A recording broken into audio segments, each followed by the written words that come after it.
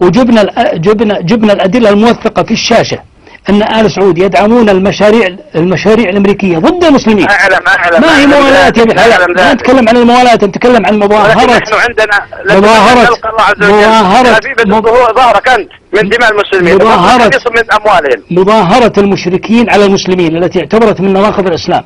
التي نص. عليها. و و نعم.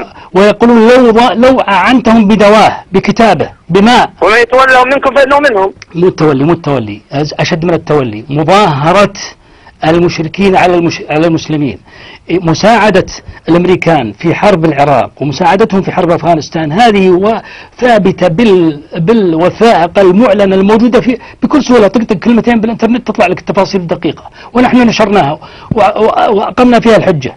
فإذا حنا عندنا أقامة الحجة لا شك في ذلك. أنهم ظاهروا المشركين على المسلمين بلا شك في ذلك. و و وسنوا الربا واعتبروه نظاما وكانوا إلى عهد قريب يمنعون البنوك الإسلامية وهذه تكلم فيها تكلم فيها محمد الفيصل بصراحة. قال حينما لا سعيت شك لا شك. ولكن أيضا أيضا يا شيخ الرسول صلى الله عليه وسلم ويعلم المنافقين الذين يعني في المدينة عليه الصلاة والسلام لم يشاهر بهم وصلى على زعيمهم. وقال لو أعلم أن الله يغفر له. ما هو دخل التشهير بالموضوع ما قصدي انه لو لو وجد هذا يعني لو لأن المنافق. الموافقة يبطل المخالفه ما هو دخل ما يعني ما هو دخل ال- النفاق الاعتقادي في القلب بإنسان يمارس ممارسة معلنة يستخدم فيها السلطة؟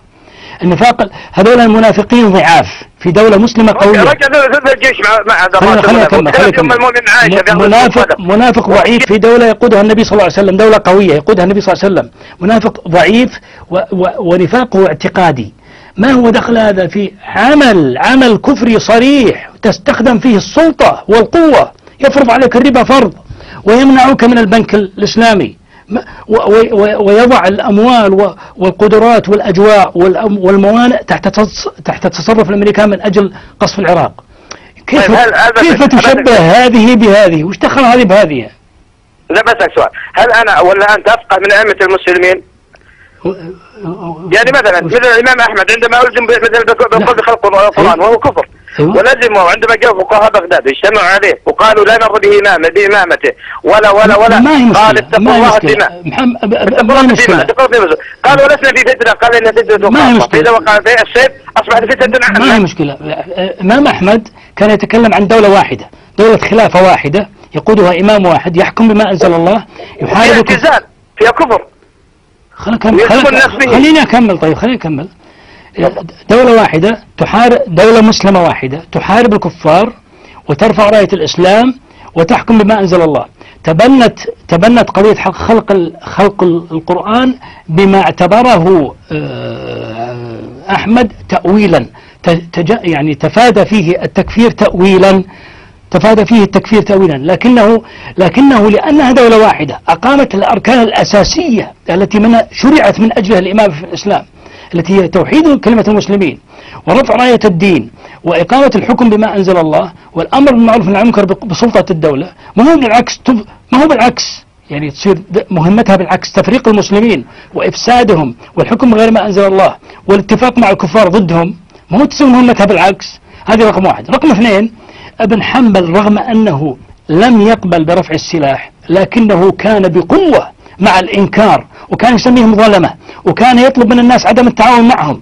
وك و شك- وكان. وكان وكان معتزلة وكان يقاطع وكان أحمد يقاطع. وكان يقاطع أي عالم يتعامل معهم. ما يكلمه حتى كلام. أي عالم يقترب من الحاكم. ولما سالوا لما سالوا بل. إنه حينما وصله خبر آه، أحمد بن نصر الخزاعي الذي رفع السلاح اعتبره مجتهدا. لم ي... لم يخطئ آه، لم يجرمه. اعتبره مجتهدا مخطئا. لم يعتبره مجرما. نحن نخطئ من يخطئ لا نقول نجرموه ولكن لا، نحن نقول تعتبره مجتهد يعني. الآن الذي لا. يقاتل آه، أتكلم عن السلاح السلاح. السلاح. الآن لا، لو واحد. يرفع السلاح لابن سعود تعتبره مجتهد مأجور؟ لا لا أكفر أنا. ولا أدخل لا، خلق خلق من. الكفر نقول بغاة لا لا لا لا, لا نقول شوف. ما حد كفر ما حد كفر الذي يرفع السلاح. ما حد كفر اللي يرفع السلاح. أين أين يرفع السلاح ما حد كفر. نتكلم مجتهد مأجور ولا آثم؟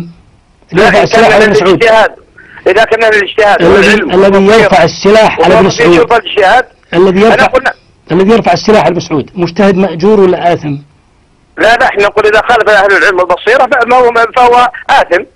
يعني يعني الملك الحسين بن النبي صلى الله عليه وسلم الذي خرج بالسلاح على يزيد وخالف كثير ممن نصحوه بعدم الخروج. هل هو آثم؟ نعم يخرج بهذا ماثم مش المعنى؟ آثم؟ الحسين بن, علي. نعم ماثم أستغفر الله العظيم الحسين بن علي ابن بنت النبي صلى الله عليه وسلم الذي سماه النبي صلى الله عليه وسلم الذي ما- سماه النبي صلى الله عليه وسلم سيد شباب أهل الجنة وعلى النبي صلى الله عليه وسلم النبي صلى الله عليه وسلم يش- يشهد له بأنه سيد شباب أهل الجنة ولكن هل موقف الحسين أفضل ولا موقف الحسن؟ كيف؟ موقف الحسين أفضل ولا موقف الحسن عام الجماعة؟ كو- كون أفضل شيء وكون آثم شيء ثاني أفضل كلاهما كلاهما كلاهما جيد وبعضهما أكثر أجرا من من الثاني مجتهد وسلم الم يقعد الحسين. يا أخي خلينا خلينا الحسين ابني هذا سيد ما قال أنت سيد. أنت ت- أنا الآن أكرر عليك السؤال. الحسين آثم رغم أن النبي صلى الله عليه وسلم قال عنه سيد شباب أهل الجنة؟ إي نعم نعم ماثل شكرا جزيلا مع السلامة. الاعتداء, الاعتداء على الاعتداء على ابن بنت النبي صلى الله عليه وسلم بهذه الطريقة لمعلوميتك ولا واحد من الصحابة ممن كلمهم ممن كلمهم الحسين اعترض على خروجه لسبب ديني. كلهم اعترضوا لسبب حسابات آه، ان أهل العراق سيخذلونه. بس ولا واحد منهم اعترض بحجة أن خروجه مخالف للشرع كلهم اعترضوا على أساس أن أهل العراق سيخذلونه، ولا واحد منهم تكلم عنه وقال آثم، ولا واحد من الصحابة قال عن حسين إنه آه، الحسين إنه مجرم ولا اثم، فإذا أنت وصلت إلى مرحله تجريم الحسين فقد قضي الأمر بيني وبينك، شكرا جزيلا. انتهى الوقت الآن. إحنا مددنا شوي علشان النقاش مع الأخ.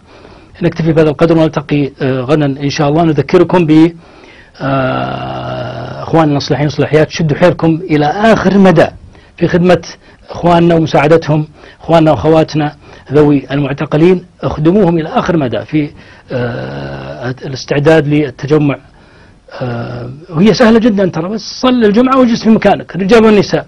لا تسوي شيء أبد. لا لا تطلع ولا ولا تسوي يعني لافتات ولا أصوات. إذا إذا صار الاجتماع جيد وصار الجو مناسب كيفك عاد تسوي آه، افعل ما تشاء. لكن الأصل إنك تصلي وتبقى في المسجد لمدة ساعة آه، أو ساعتين. استودعكم الله. والسلام عليكم ورحمة الله.